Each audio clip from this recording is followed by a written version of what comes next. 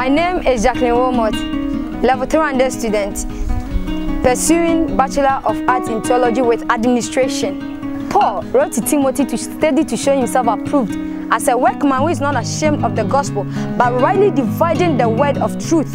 Are you a pastor or someone who has the call of God upon your life? I'm entreating you to come to Christian Service University College. Enrolling as a theologian in Christian Service University College is a great opportunity. We have a library facilities having all kinds of materials. Systematic theology books are there, philosophy of religion books are there, hermeneutics books are there, a whole lot of material for which we can't even talk of.